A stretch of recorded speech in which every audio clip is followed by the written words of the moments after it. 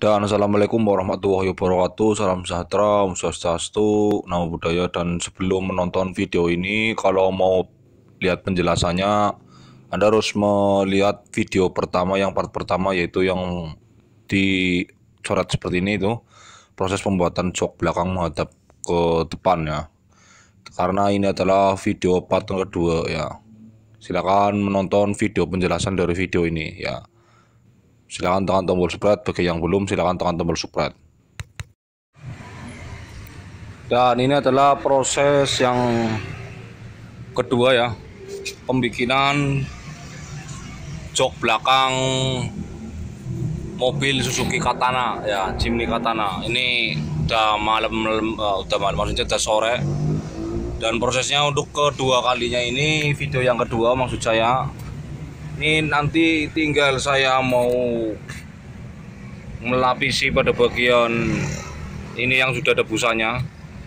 Jadi saya itu merenovasinya dari basicnya ini misalnya punya jok belakangnya apa nanti saya akan rubah pada bagian rangka dan pada bagian kepala ini yang atas ya. Sedangkan kakinya sendiri kami juga buat ya. Terus pada engsel-engselnya nanti kita mempertahankan atau nanti ganti ya.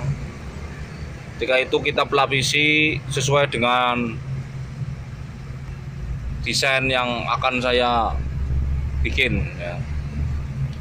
pertama-tama kini nanti akan diturunkan dan ini sebelum kita lapisi kenapa harus seperti ini? Karena kita harus menyesuaikan pada pada bagian ruang slabor ini kanan kiri yang nantinya supaya ketika sudah dilapisi tidak ada kesalahan. Nah, untuk pada bagian gambaran belakangnya ini seperti ini.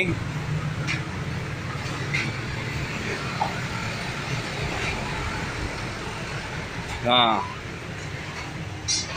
nah ini mintanya dikasih headrest kepala seperti ini. Jadi ada penambahan bip palas dan ini ini masih rangka seperti ini ya. Ini busanya juga nanti tak reparasi ya. Ini bikinannya seperti ini.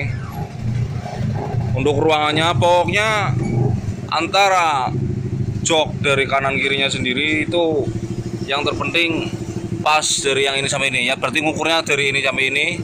Dan nanti rangkainya menyesuaikan sampai busanya. Setelah itu kita lapisi ya. Dan anda jika mau bikin silakan langsung itu di situ ada nomor HP atau langsung ke Facebook kami atau Instagram. Di atas ada itu jok mobil terpal Tegal. Silakan tanya ya. Atau mau menambah ilmu ya. Juga di situ ada. Nah ini proses yang kedua. Nah, jadi ini judulnya bikin jok belakang Suzuki Katana. Nah mobil Suzuki Katana yang jok belakangnya menghadap ke depan ya. Orangnya juga minta dikasih headrest ini proses agak petang sih ya. Udah sore. Terus bengkel saya juga posisinya seperti ini. Mantul cahaya ya. Jadi kameranya posisinya agak seperti ini. Pokoknya ada pertanyaan apa kalau mau bikin ya, terus anda mau buat terus ada kekurangan apa bisa langsung tanya juga bisa.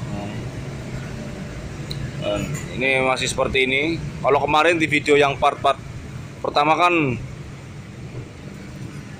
ada pengelasan dan yang lain. Kalau ini saya juga sibuk. Ya nanti prosesnya lagi ada video lagi. Yang belum tekan tombol subscribe silahkan tekan tombol subscribe untuk mengikuti video selanjutnya ya